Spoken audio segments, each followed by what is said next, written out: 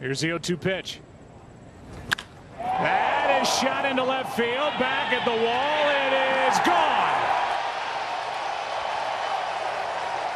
And the first home run in MLB history in Iowa belongs to Jose Abreu.